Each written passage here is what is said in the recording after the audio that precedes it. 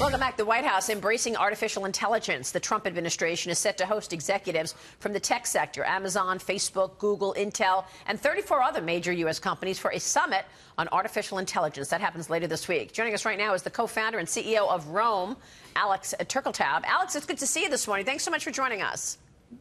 Great to see you. Thank you so much for having me what early you, in the morning. What do you make of this outreach from the White House? Tell us how you see this AI summit taking hold.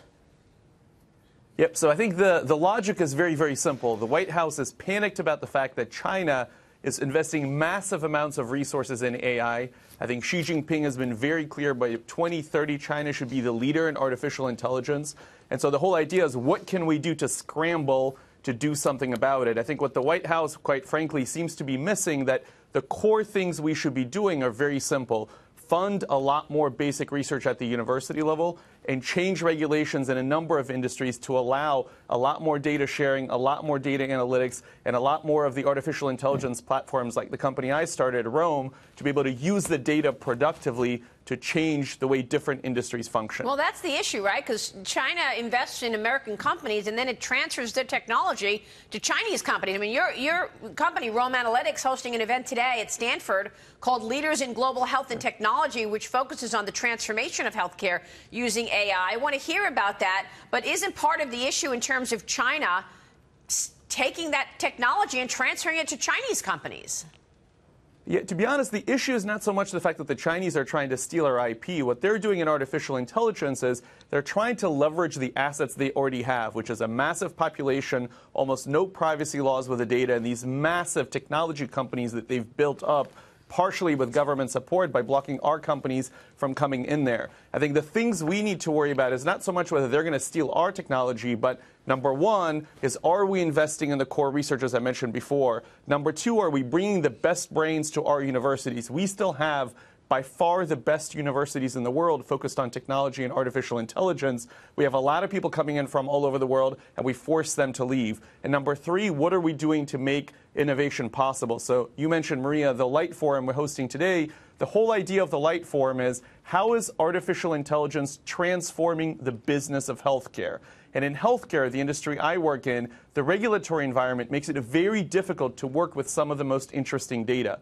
So if our government wants to encourage that type of innovation, encourage startups, what it needs to do is say, how can we make sure that the data that's available can be used to help patients and encourage technology companies to get into the space? Yeah, it's about and patients, I'll give you two John. specific. Uh, uh, Alex, yep. Ch China is an autocratic state. Silicon Valley is a hotbed of capitalism and the free flow of ideas. Can we really expect an autocratic state where so much is happening from the top down to become a world leader in artificial intelligence? Or does the free market win out in, in, in, in this, this race to dominate this emerging technology? So that's a that's a great question. I think there's two parts to artificial intelligence that need to be separated. The first part is in order to have artificial intelligence work at scale, you need massive amounts of data. And China has a core advantage because it has a much bigger population and it's collecting data in very consistent and interesting ways. With respect to the technology can be used then on top of that, I believe that our country is going to be far more creative in terms of developing new and innovative applications. But one has to say that the Chinese do have access to those basic inputs that are necessary.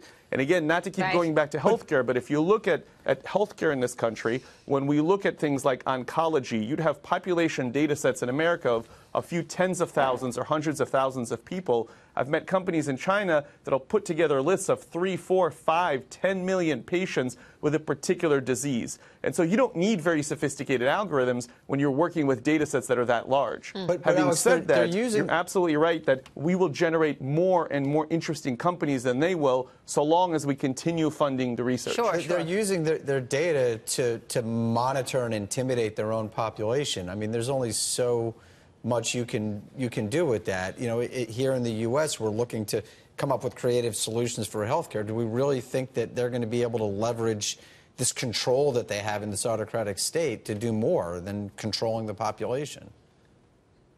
Well, I think that, that remains to be seen. There's a number of creative and interesting startups. I know in my space, I've met a lot of startups in China that are doing very interesting things in different disease areas. Clearly, the government there has a policy or an intention of supporting its technology giants in part because it can then collect the data. But I think if we just talk about what they're doing and we've already lost, the key issue is how can we leverage the advantages that we have? Again, the conversation we're going to have at the Light Forum is all about we have really interesting technology that can take a lot of the data that's out there about right. patients, unstructured data in health records and elsewhere, put it together and have meaningful change mm. for how patients reach better outcomes, yeah. how we pay for health care. Oh, it's incredible. We don't need to I have mean, the marriage between technology and healthcare has been, you know, really um, important and, and life-saving. We know that, that and, and, and, you're working on just that. Did you have a question real quick? I actually had a national security question when it comes to um, artificial intelligence and what we're talking about China in terms of collecting data because that's been one of the big concerns